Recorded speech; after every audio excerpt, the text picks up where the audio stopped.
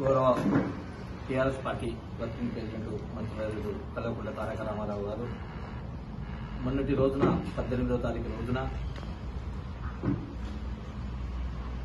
TRS party ముఖ్య నాయకులతో సమావేశం ఏర్పాటు చేయడం చేసుకోవడం జరిగింది. అందులో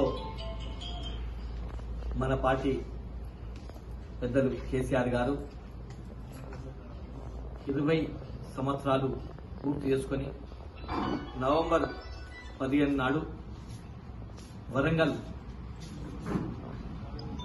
విజయ గర్జన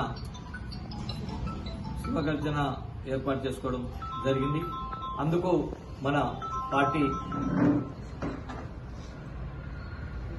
పెద్ద ఎత్తున టీఆర్ఎస్ పార్టీ పక్షాన పెద్ద ఎత్తున అక్కడ కార్యక్రమానికి విజయవంతం చేయాలని చెప్పి సమావేశం ఏర్పాటు చేసి ముఖ్యులకు మాట్లాడుకోవడం జరిగింది.